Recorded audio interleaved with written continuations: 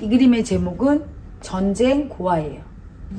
전쟁 고아 아니래도 꼭 사람들의 마음속에는 누구나 이런 고아 같은 마음이 있죠. 다 뺏기고 가난하고 아프고 나는 아무것도 없는 고아같이 외로운 마음 가끔씩 올라올 때 있거든요. 전쟁 고아 같은 마음.